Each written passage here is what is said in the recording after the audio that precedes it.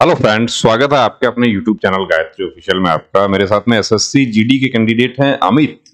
इनसे बात करते हैं। इनका कैसा एक्सपीरियंस हमारे साथ में रहा और कितना मार्क्स है कट ऑफ़ से कितना ज़्यादा है कॉन्फिडेंस बढ़ा या नहीं बढ़ा बहुत सारी बातें हमें करनी है। तो अमित सबसे पहले तो ये बताइए कि आप कहाँ से आ पाए सर मैं दिल्ली से आया। वैसे मैं बेसिकली उत्तराखंड से हूँ। तो आपका डोमिसाइल दिल्ली के ही हैं उत्तराखंड का है। अच्छा, उत्तराखंड के डोमिसाइल आपके। दिल्ली में आप रहते हैं।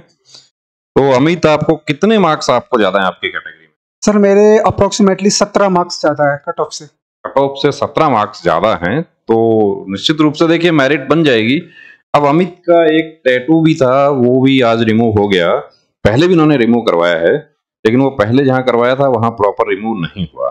तो बात करते हैं अमित आज आप मॉर्निंग में आए थे उस समय कैसा लग रहा था? आपने उससे पहले अपने घर पे बात किया हमारा वीडियो दिखाया होगा कि मैं मुझे जाना है।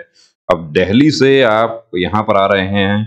तो ये तो एक डिस्ट्रिक्ट हेडक्वार्टर है। दिल्ली के मुकाबले तो दिल्ली के मुकाबले तो मेडिकल सुविधाओं के यदि हम बात करें तो यहाँ पर तो उसकी तुलना में कुछ नहीं है।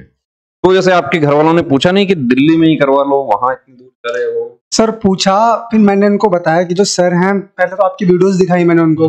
और वीडियोस देख के वो खुद उनको अच्छा लगा। फिर मैंने बताया कि वहाँ पर सब एक साथ ही होता है। अब दिल्ली में अलग अलग हॉस्पिटल में जाना पड़ता।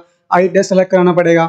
नोज़ का अलग कराना पड़ेगा। फिर सर यहाँ पर सब कुछ एक साथ ही हो गया तो मैं बहुत अच्छा लगा मुझे। तो एक साथ हो गया तो आपके जो डाउट्स थे वो तो काफ़ी हद तक आपको यस सर जिस जिसमें मुझे डाउट था ठीक है सर वो ऑलमोस्ट सब के सब क्लियर हो गए सर और आपने जो भी मुझे पॉइंट बताए सर माइनर पॉइंट बताए उस पर आपने मुझे एक्सरसाइज भी बताई कि ऐसे एक्सरसाइज करना है तो मुझे बहुत अच्छा लगा सर और एक टैटू था इनका उसके लिए हमारे जो टैटू के जो हमारे डॉक्टर रविंद्र हैं उनके स्टाफ को आज एक घंटा और रुकना पड़ा है स्पेशली इनके लिए। तो उनका भी मैं बहुत आभार प्रकट करना चाहूँगा कि ये इनके ट्रेन के अकॉर्डिंग वो एक घंटा अपना कार्य समय था, उन्होंने बढ़ाया।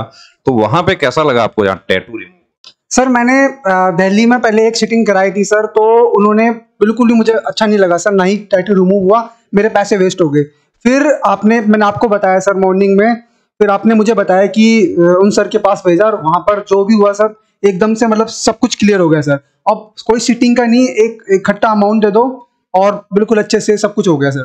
तो जो वहाँ पे आपको तीन सिटिंग बताई थी यहाँ पर एक में ही आपका मतलब ऑलमोस्ट हो जाता है एक में थोड़ा बहुत यदि बचता है तो दूसरा में तो कंफर्म हो जाता है।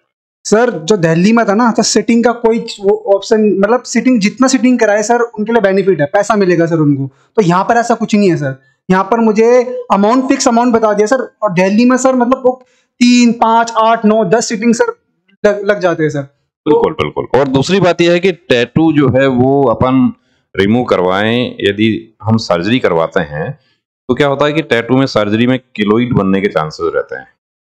तो बेहतर यही होता है कि टैटू को अपन लेजर से रिमूव करवाएँ। अब नाम है तो उसका नाम है तो वो अपन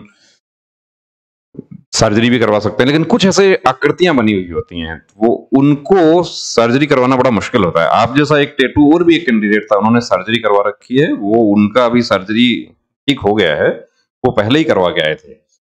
तो अमित, आपके मार्क्स अच्छे हैं, सुबह जब आप आए थे, तब के जो आपके विचार थे उसमें, और अब का जो आपका कॉन्फिडेंस है, उसमें क्या फ़र्क है? सर, सुबह मेरे अंदर बहुत सारे डाउट्स थे सर क्या क्या कमी निकलेगी क्या क्या नहीं होंगे? मुझे बहुत सारे प्रॉब्लम मतलब मुझे मैं सोचता था कि ये प्रॉब्लम मुझे है ये प्रॉब्लम है। पर आज जब पूरा मेडिकल हुआ सर तो सारे मेरे प्रॉब्लम मतलब चले गए सर प्रॉब्लम्स तो न, चले गए ऐसा नहीं कहेंगे लेकिन डाउट चले गए। यस सर डाउट चले गए सर तो अमित पहाड़ के लोग तो बहुत मज़बूत होते हैं। पहाड़ का जो पहाड़ में क्या है कि एक खास बात है पहाड़ की कि वहाँ के लोग फौज को बहुत ज़्यादा मतलब कि वर्दी ही उनके लिए सब कुछ है। हुँ? कि या तो बॉम्बे जाएँगे होटल लाइन में या फिर फौज में जाएँगे? यही होता है? Yes sir maximum sir army और होटल यही आर्मी और होटल पहाड़ के लोग जो हैं वो पहली प्राथमिकता जो है वो फौज है और फिर दूसरी प्राथमिकता होटल सर पहले वो आर्मी में जाना चाहते हैं. अगर नहीं हो पाता फिर वो लास्ट का दूसरा ऑप्शन उनके पास होटल ही रहता है। और फिर कुछ ऐसे भी हैं जो होटल में काम करते हुए आर्मी की तैयारी यस सर बहुत है सर ऐसे। बहुत हैं ऐसे, बहुत से लोग हैं तो बहुत बहुत शुभकामनाएँ अमित को और बहुत धन्यवाद कि इन्होंने हमारा भरोसा किया। और आप लोग हैं तो हम हैं, चाहे अमित हैं, चाहे हमारे जो दूसरे दोस्त हैं, कि आप लोग चैनल देखते हैं या आप सेंटर पर आते हैं तो हमारा वजूद है, आपके बिना हम कुछ नहीं है। तो आपका सेटिस्फेक्शन है, वही, ये समझिए कि हमारी सबसे बड़ी अर्निंग वही है। तो बहुत शुभकामनाएँ और धन्यवाद करना चाहूँगा। जय हिंद।